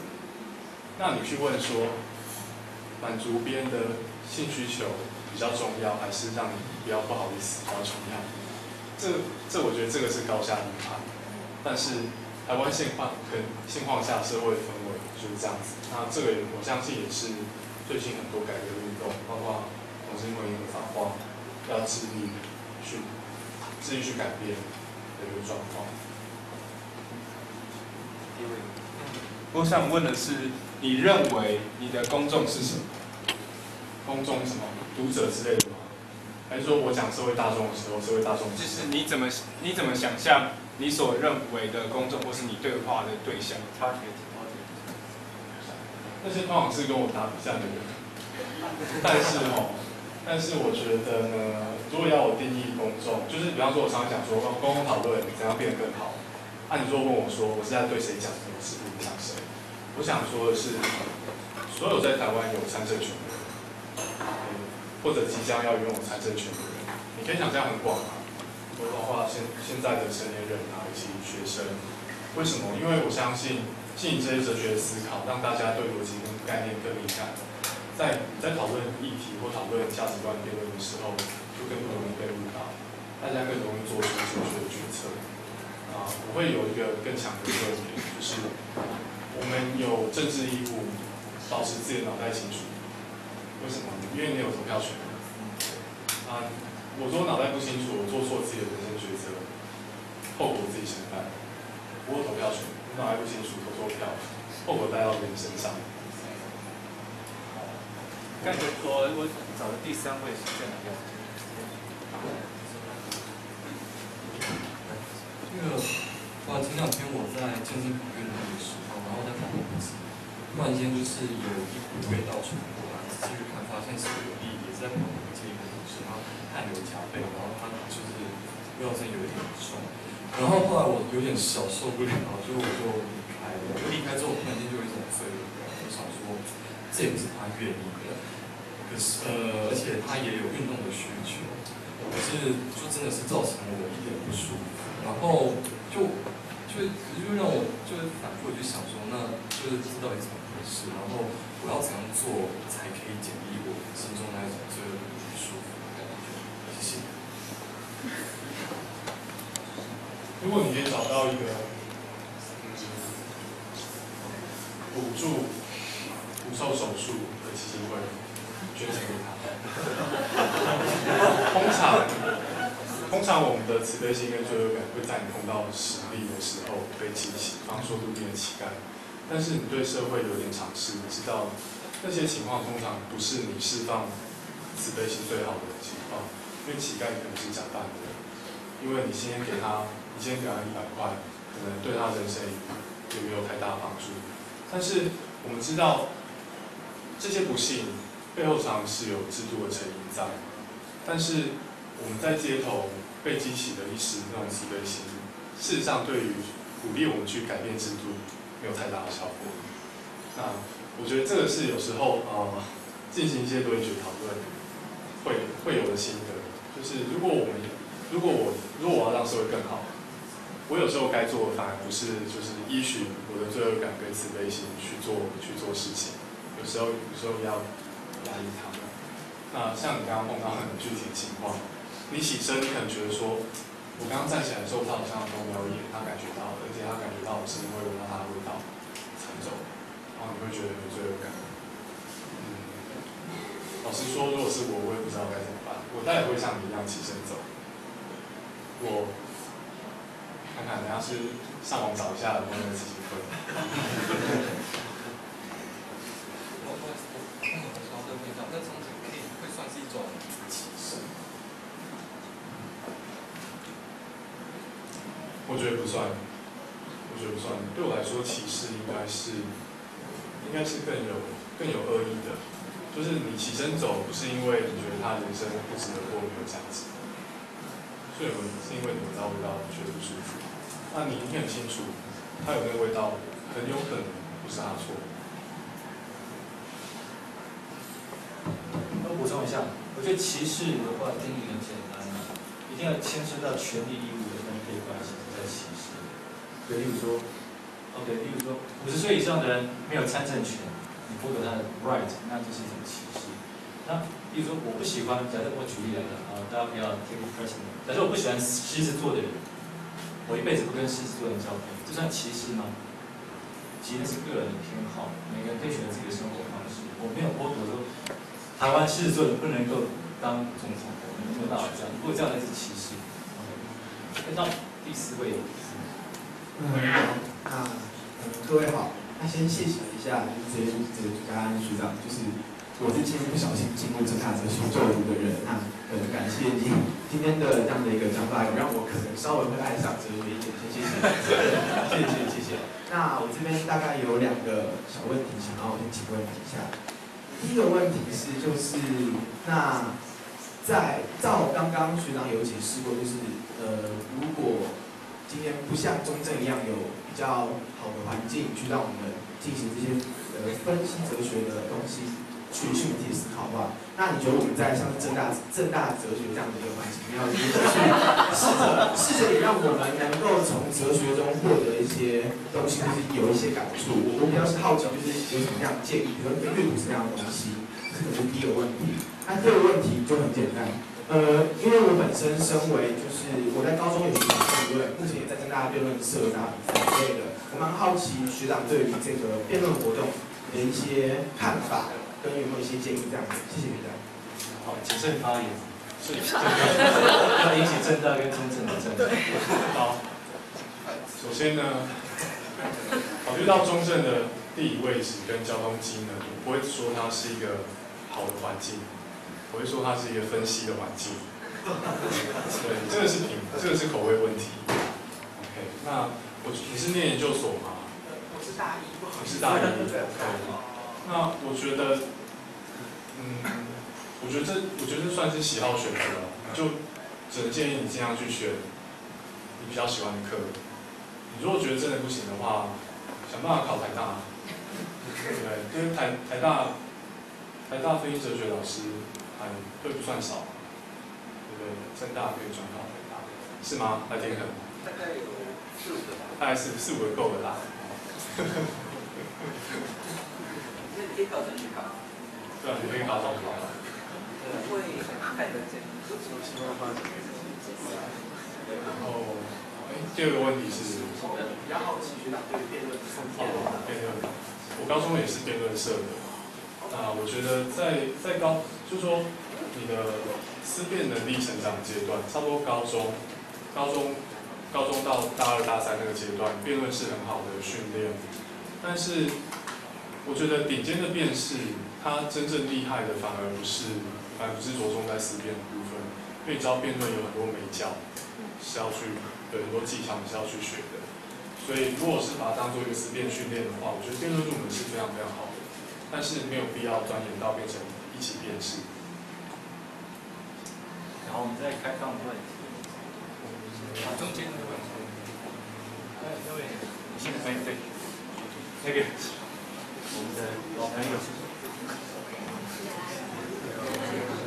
我只是刚刚听的，就是有很多疑问，就是先回应一下那个刚刚就是杜江刚刚有提到说歧视对你讲是更有恶意，他的人身不值得。但是刚刚就是主持人也讲到，其实是你对他的权利进行的一些干涉。那我觉得在现场我就有出现那种概念是模糊的现象。那到底什么是歧视呢？例如像我，我我坚持我不跟吸毒的人交往，但是对我来讲，我很明白这是对我我自己对那些人有歧视，这需要我去衡量的事情。那到底要怎么去定义？然后再来就是说，刚刚他那个简报上面有讲说，就是要了解你使用的概念。那我蛮好奇的是，就是朱家你怎么去辨识存在在你人生中的价值？那那些概念，然后你怎么去选择那些概念？然后倾诉出你这个人的个性，其实对这个路路径还蛮好奇的。然后再就是这这个路径当中，你觉得你追求的是什么？是适用于所有人的真理，还是你觉得你想要能够获得一个更对这个社会更大认认识？是你所在意的是什么？大概这个问题。好，第一个歧视嘛，我觉得，嗯，我觉得我跟吴老师的。回答当然是着重在歧视行为的这种面向上面。啊，我我很同意吴老师把歧视定义成一个正式表态。对，我说我认为说某些人没有某些权利，这可能是我在歧视他们。但是为什么吴老师？我在猜啦，我在猜吴老师这样讲，可能是因为他比较偏自由派，但我也是自由派啊。那 你偏自由派会有什么后果？就是你。你你在说别人有道德瑕疵的时候，你会尽量小心。当别人做出非常非常严重的事情的时候，比方说，我主张某些人没有某些权利，他才会说我是有道德瑕疵。那你说别人歧视，很显然是在指责别人有道德瑕疵，对不对？但是你换一面来讲，我在日常生活当中，常常跟常常常会因为别人做一些跟呃公权力义务无关的事情，觉得他好像有一些歧视心态。比方说。比方说，他说，我就是不跟建中的交往，类似这种的，啊，那比方好，比方说，他说，我我不跟私立学校交往，啊，这比较像，对不对？那这个算不算歧视？我觉得哦，有时候我们在做哲学思辨的时候啊，会陷入一种迷障，就是对我来说，我只看到一个问题，就是这两种状况跟某一个特定概念的关系。但是有时候可以回过头来想，你为什么那么那么注意？要去判断这样一种状况符不符合某个概念，是因为你要判断这样的状况在道德上是好的还是坏的。OK，歧视、公安猥亵，这些是很好用的概念，协助我们做判断。但在有时候，我会觉得你稍微把问题推开一点，站到更远，直接去判断说这种行为你有哪些理由可以说它有道德瑕疵，反而是比较比较有效率的应对方式。那比方说，我不跟私校的交往。你可能会说，这个人蛮自大的，自视甚高。可是这算不算道德瑕疵？其实蛮难讲的。但是你如果说有人主张说，嗯，私校的应该要剥夺他们投票权，这应该就算是你有道德瑕疵，因为你对私校的偏见已经影响到你认为他们应该获得什么样的政治权利。第二个，第二个问题我是觉得有点难。你是在问我的人生意义是什么？类似吗？类似。好，我刚刚讲我是很自由派的，所以我的那个概念就是我觉得过得爽就好。你可以问说，你为什么写 blog？你为什么？你很少在 blog 上面弄那么多摆烂的话？我当然可以说，我希望这些讨论有助于我们公共讨论的进展。但是你可以去问，对不对？其实你为什么希望台湾社会公共讨论变好一点？最终最终是回到，我觉得在那种愿景那个社会里面，我会过得比较舒服一点。我相信大部分的人跟我有类似的想法，这是为什么？就是你跟别人谈愿景的时候，通常有时候重叠之处。大家想象你想要的社会，有时候是蛮致的。那我我再补充一下，抱歉，讲一两句话。对，所以呃，其实我们两个根据我们的基础，我们对歧视有不同的定义。但是我相信，我们经过讨论之后，可以把原本比较模糊的定义，慢慢的聚焦清楚。那我自己倾向把歧视把它定义的比较狭隘一点，不要太放大。其实其实英文叫 discrimination，那其实区别不同而已。经济学讲 discrimination，那不是歧视，是说差别取向。为什么军警票比较便宜，学生票比较便宜？是差别取向。OK。那这叫 discrimination，所以我只是区别那个差别，可这差别的对待到底背后有没有什么样的重要理由？这个理由是有瑕疵的。那我觉得，呃，如何把其实变成有意义的公共语言来使用，当有用的工具来使用，我是我是倾向把它限缩。OK，这样我们在进行公共讨论，它是有用的工具。如果把它放得很大，那我们随时都会撞到墙壁，其实我们没办法进行很有效的沟通。所以我在倾向于把它定的比较浓缩一点点。那我们简单的呃补充。那么下一位同呃朋友，好，中间这一位。好，我有三个问题，我可以一个一个问吗？一问。那第一个问题就是呃关于 GRE 的分数，那呃我很好奇是这个 GRE 的分数是读那些科系之前测出来的，还是读那些科系读完或者是正在读的学生测出来？那接下来是说呃。这个分数，我们有什么理由相信说这个分数，呃，反映的不是说，呃，GRE 分数高的人才会想去念哲学系，而是念哲学系之后让 GRE 变高？这是一个问题。好，我们开先开放一个问题。我觉得，我觉得这个问题问的不错。先回答那个关于事实的，GRE 是在你考研究所的时候去考，所以应该，我猜到，应该是大三、大四或毕业生去考，OK？。那你要，你可以问说，有可能是相关性而已。特别对那个特别聪明的，本来就倾向于念哲学系，然后考出来才会有那样子的分布。这当然是可能的，但是哈，我觉得我有时候觉得说，呃，这个是面对那个状况心态调整的问题。就是如果我们期望，如果我们期望批判思考跟逻辑推理是可以教育的，是可以教育的话。那把它诠释成是进入哲学系之后获得那些多余的训练，是一个比较恰当的说法。当然有可能是只是相关性，那这个可能需要更多的对照资料才能看得出来。我同意，我同意那个可能性啊，我同意那个可能性。然后，你们其他的朋友，那我还两个可以再问呃，等一下，其实我们是这样，我们先试着让更多的人发问吧，尽量就是缩减题目，不要有些就四五个这样。OK，中间那位，呃，那位朋友。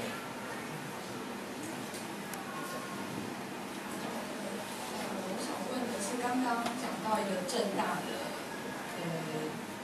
地震你那个情况，我对实际情况不是很了解，但是您刚刚提到说他是用公共资源在表达个人的意见，然后。这让我想到说，如果我我支持呃婚姻平权多元成家，但是我会想到说，如果如果有一个这么不一样意见的人，在那个场合表达他的立场，那会增加很多讨论的机会。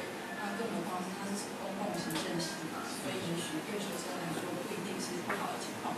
再来就是说，如果这个老师他在课堂上每一分每秒他的终点费都是公共资源。他都不能表态了吗？他都不能就是提倡任何的任何他的想法吗？对，我觉得这个问题很好。那为什么？OK，我怎么解读这个问题呢？我之前其实想过，我之前其实想过类似的情况，就是老师能不能在课堂上面推广推广自己的价值观？你去想一个问题，就是你不会允许，你不会允许你的医生或者你的信用卡客服人员、机车维修人员告诉你说正确价值观应该是怎样。我觉得老师不应该获得这种优势。因为老师之所以成为老师，是因为他们在各自的专业领域所有专精，他们的专业透过通过政府检验，但是这是否代表他们的价值观跟宗教也一起通过政府检验？是不是的？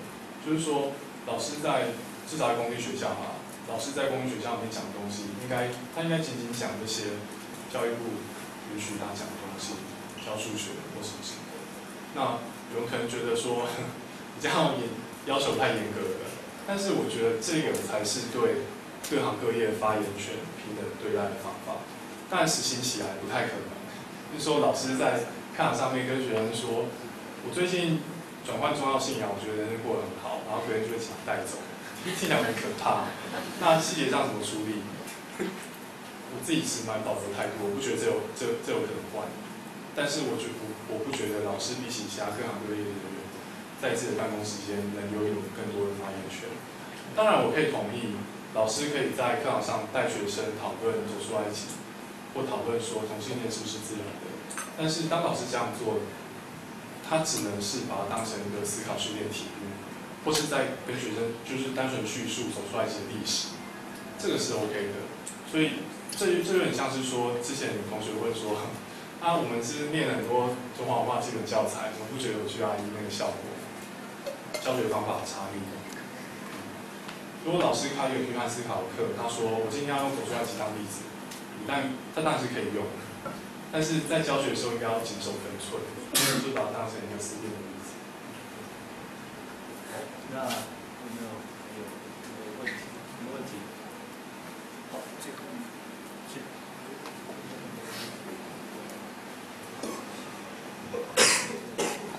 嗯，好，呃，你好，呃，因为刚才也有听到一句话，就是说，呃，右派比比较不会去指责别人的道德瑕疵。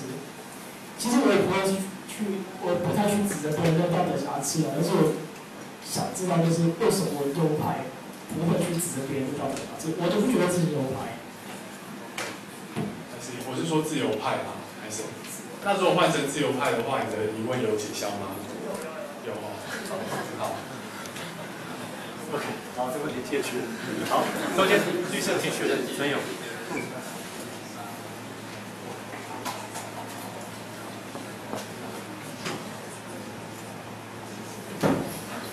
呃，不好意思，就是可以请问一下，就是请问哲学的定义是建立在哪一个的上面？可能是个人思想，还是社会大众的给你的评论，还是政府给的，还是别人就是跟你所说的，就是我不太懂它的定义的来源，对，建立在什么样的基础上面？你是说历史上哲学这个学科被被划分？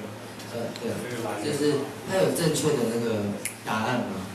还是就是人的思想？你是说界定哲学这个学科有吗？当然当然是有啦，不然教育部就不知道哪一个哲学系哪一门课太超过，这个这个是一定有的。那这之中可能牵扯非常非常多，不能在这里跟各位分享的学术秘辛。但是规则是一定有的。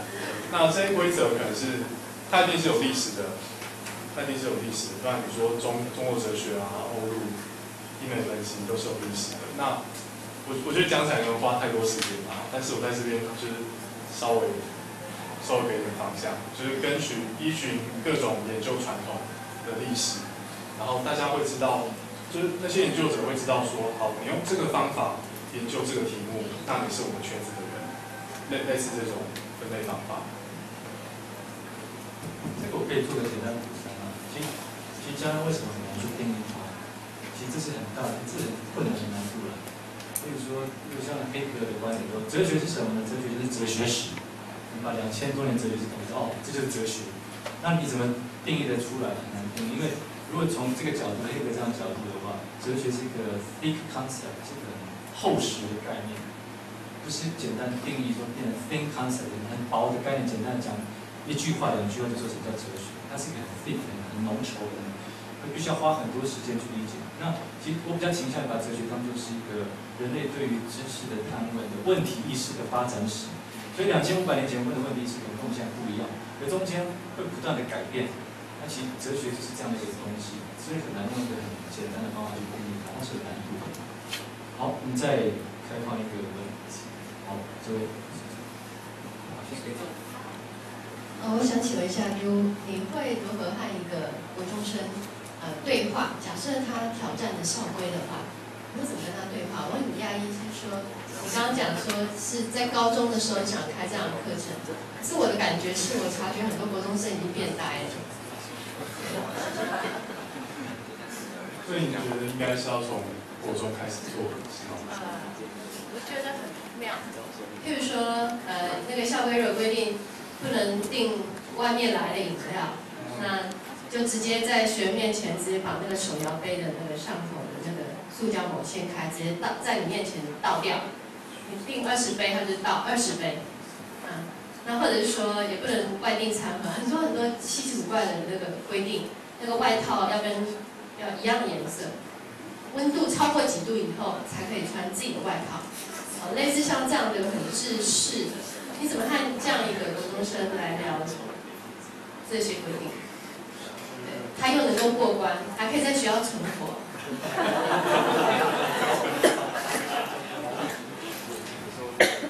首先，国中生要违抗，跟国中生要跟校方对抗，我觉得除了哲学训练之外，还需要很多其他的东西。你知道那个有时候需要些，比方说道德勇气啊之类的，只是。做到哲学的人，不见得有道德勇气。所以我需要很多很多多多元的训练。但是我我可以回答，我们是如何跟国中生对话？因为去年暑假，简单哲学实验室有受邀到新竹两个国中，就去带国中生的哲学营队。那个一场大概是三天左右，然后我们教一些简单的逻辑啊，然后教那个呃，我帮他们上的是科学跟微科学判准。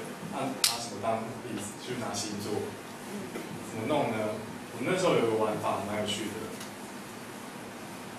跟小朋友宣布说，你们今天非常幸运，因为你们知道台湾有一个星象师协会，我们今天请到那个协会最最准的星象师，要来把他们对这一年这一年度各星座运势跟你们分享。然后跟他们说，就是这毕竟哲学课程，我们要用这个分享测试一下那个星座运势是不是准。所以待会我们的星象师助手会发那个你的星座的小纸条给你，每个人拿到小纸条不一样。你拿到之后呢，先把自己看一下藏起来，不要让你旁边知道我们是什么星座。然后我们等一下来举手。那每个人都发，每个都发下去了。小朋友拿到自己的小纸条，问他们说：好，你现在先看自己的小纸条，觉得上面写是不是准？大部分的大部分的人都说超准。那我再跟他们说哈，我们现在把其中一张小纸条的内容打在上面。那，你你如果是拿到那一张，你就举手，然后我们让旁边的同学来猜一下你是哪一个星座才能拿到那一张。拿上去之后，全班都举手了。你知道，就是星座运势有时有时候有些技巧，比方说说，你呢，你这个星座的人虽然不缺朋友，但是有时候你还是难免感到很孤独。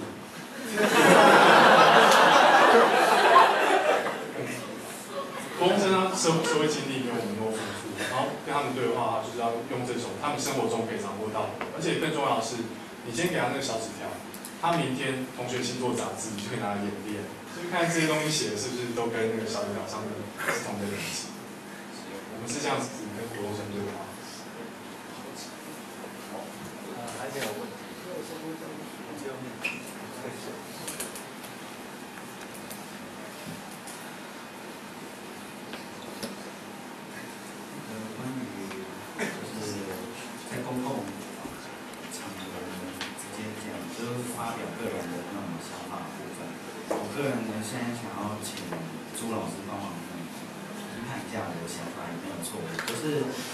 我觉得这可能这就是延伸到？教育这个东西的定义，我个人的想法是，我把它分类为两个，一个是既定的事实这种东这个东西，另外一个是个人的衍生出来的想法。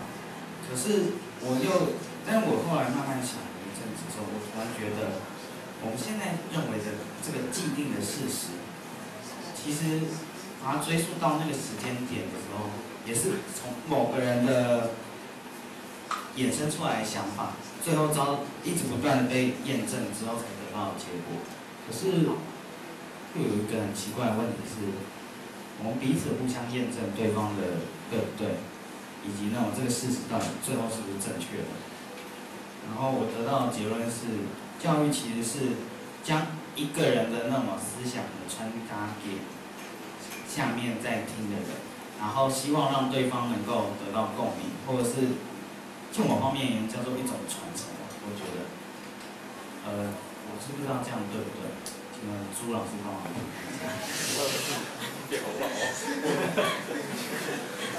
这同学讲东西有有点多，我在里面，我从述几个我抓到的，我抓到的点，一个是我们了解世世界上面的事实是，每每个人透过你自己有的那个感官或主观去观察跟诠释，然后我们最多只能跟别人互相验证。这部分我听起来觉得还 OK 吧。然后你说教育是一种传承，然后把自己有一些东西表达给别人，需要他获得共鸣。我想更重要的是需要他学起来。那这部分我也觉得 OK。那这样子我要到你的问题吗？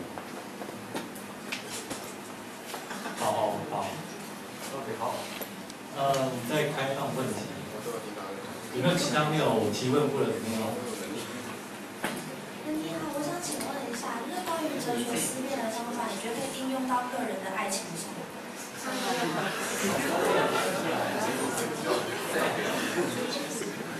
我有朋友这样做，他已经四年没交女朋友。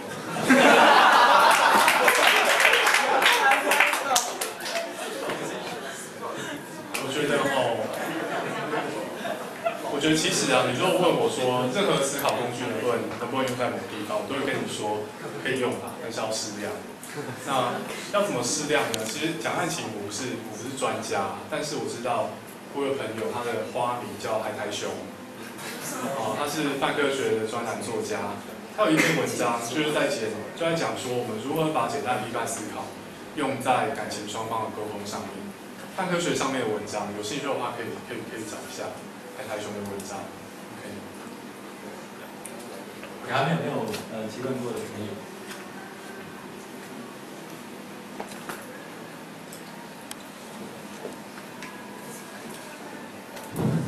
我想请问一下，就是呃，朱家，你对哲学人人这呃，你在你怎么定义人在哲学里面的位置？就是哲学到底可不可以抽离人这个存在去讨论？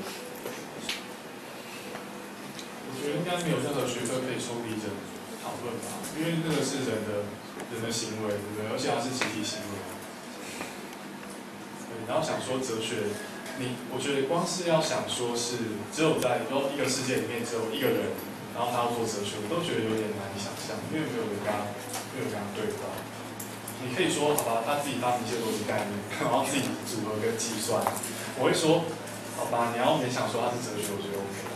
但是毕竟哲学第一个，它是人的行动，然后在现实生活当中，它是人的集体行动，这是我目前理解。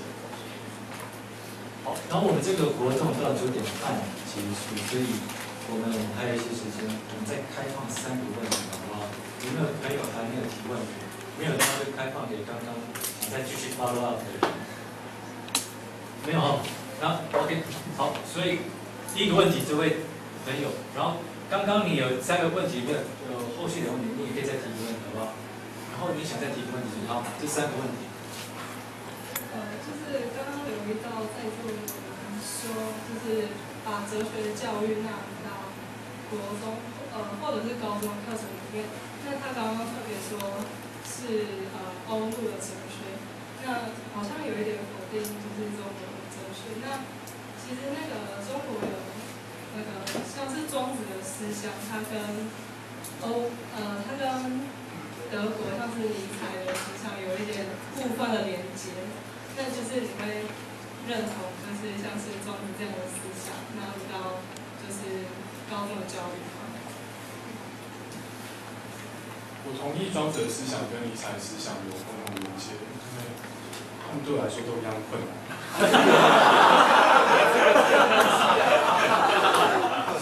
我觉得这个是哲学作为一门抽象学科的困境，非常我们有很多经典，可是我们没有什么很写的很简单易懂的经典，但但我们会说，要教学生要教一些珍贵的思想，但珍贵的思想往往藏在最困难的经典后面。那要不要教国中生呢？我必须，我我可以说，很多哲学思想是很值得教的，只要老师有办法教。所以这回到教学现场如何操作的问题。啊，我觉得考量一下，就其实说是在考量一下，我相信有一些哦研究庄子或尼采的人，他会跟你说，国中生，拜托，这种东西应该三十岁的时候再练。有些会这样子讲，就是国中生他的那个人生经历没有到达他可以完整的品尝庄子或尼采的这个地方。那我之前参加过一个研讨会，讨论中国文化基本教材。有一个反对中国文化基本教材列入必修老师，他自己是做国学的，但他为什么反对？他说，台湾实行中国文化基本教材，国中、高中已经很多年了，这个政策唯一的结果就是让仇恨孔子的年龄降到十六岁。有些东西时候时候不到是是最好不要让学生接触，而且特别是不要硬性让学生。但是如果是对国中生他的心智跟社会阅历发展，给他们恰当的思维训练，不管是什么样的哲学经典，能做到这件事情，我都是很赞成的。因为就是像我自己现在就是念国高中这个阶段，然后我们的教育一直是以儒家为主，所以那个我刚刚特别提出庄子，就是也有不同的撞击，可能会让学生就是有更不一样的。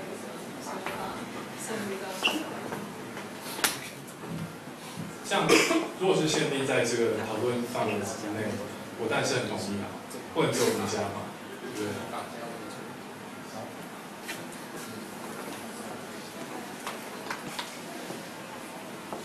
嗯，好，那我再问第二个问题，就是那个关于，呃，关于同性婚姻的问题，就是嗯，有就是那个。同性领养小孩，就有人认为说，呃，同性如果开放同性恋领养小孩，那他们可能会被社会歧视，对小孩不利。那有人认为，那我听起来朱家安的意思应该是说，对社如果是对小孩不利的问题的原因不是同性恋，而是社会的歧视心态。那我们应该改善是社会歧视心态，而不是禁止同性恋领养小孩。那我想问的是，那我们应该先改善社会歧视心态，再让同性恋领养小孩，还是先让同性恋领养小孩，再去改善社会歧视心态？我觉得这个还蛮难，还蛮难分辨的，对？因为它可能有很多实际上面的考量，但是两者两者的缺陷都很明显，对？你要是你要先牺牲，呃，统治实现自己的，某些统治实现自己人生愿景的权利，还是你明知道你要有同志的小孩在学校被排挤，你还要让这些小孩进入学校？我必须承认。我必须承认，虽然哲学有时候把东西讲得很很精致、很深奥，但是有时候你碰到这种就是利，就是利益比较，怎么样比较不亏？当然双方双方的双方权利我们都是要照顾的，但是可能有时候是要比这样比较不亏。但是我我可以提出一个考量的方向，就是当同事领养小孩之后，在未来十年会有些小孩有同事父母，但是如果如果不让同事领养小孩的话，想想看，那些小孩会在哪里？他们下场不见得会比较好。但这只是让整个地图变复杂而已。但是我们碰到社会问题就是那么复杂。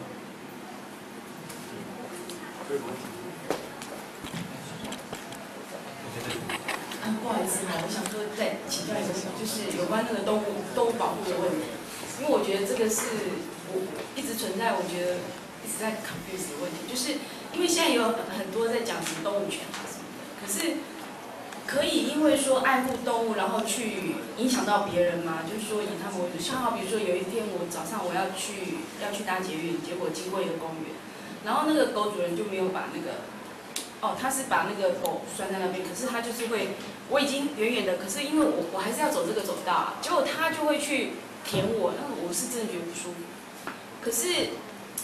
我我觉得这个是不是呃那个要看那个主人的那个道德嘛？他我知道他们其实都很爱那个动物啦。啊，我我自己本身因为我不想伤害动物，所以我吃素。那我也可以做到说我不会去伤害他们。可是我很受不了，就是说那些狗主人把那个已经当成是他的小孩或什么，可是都没有去想到说他们的行为，他们爱护的这个行为已经会去影响到其他的人类这样子。谢谢。事实上，我可以想象这个狗拴在人行道旁边造成更惨的事情，比方说吓到小朋友，小朋友跑出去被车撞了，类似这种情况都是可能的。那我想在这里，我觉得，我觉得哦，在这里我们还不需要进入，我生活的权利跟他爱护动物的权利之间的抗争，因为很明显有其他爱护动物的方法是他可以实践，然后比较不会妨碍到其他人。所以我觉得，如果我们讨论是刚刚那种例子的话，那对对错还蛮明显的。狗主人应该就是 管好自己的狗，你不能让它放在那边，然后让让它去逗路人，然后你又不管。可是现在常常在捷运上也看到有那个狗主人就是推着那个婴儿车，有没有？里面其实是狗哎，可是那个狗或许他觉得他很乖，可是我们旁边的人有可能很害怕，他万一他是跳出来然后就去咬人怎么办？我是觉得这个部分其实蛮多。就是我觉得会 confuse 的问题，就是他们真的是爱狗爱到这样子，然后都没有去想到说会影响到其他人。